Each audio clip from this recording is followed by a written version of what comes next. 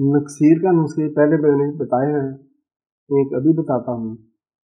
और, अभी साथ ही आप सब्सक्राइब कर दें शेयर करें लाइक करें। नुस्खा नक्सीर का इस तरह है, जो कि बहुत ही मुजरब है, बहुत आला है अच्छा है, जल्द तैयार होने वाला दाना इलायची खुद छोटी इलायची के दाने आप ले लें, दस ग्राम ले लें, गाँव लें गाँव ले लें। इसलिए इसको ग्राइंड करें, खूब पीसे खूब पीसे। इस इलायची के दानों में, दानों को गाँव ने गाँव में कर लें लेट कर, तीन तीन, चार चार कतरे दोनों नासों में, दोनों साइडों में खींचे। कम कम पाँच कतरे होने चाहिए उधर, पाँच इधर पाँच इधर। लेट कर, ज़ोर से आप ऊपर सांस खींचेंगे चले जाएँगे सुबह शाम कर लें, बस एक दिन ही काफ़ी है।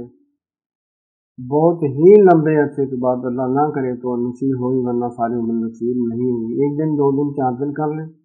इतना मसला मुश्किल तो नहीं है। कीमती भी नुस्खा नहीं है, लेकिन है बहुत आला। असलकुम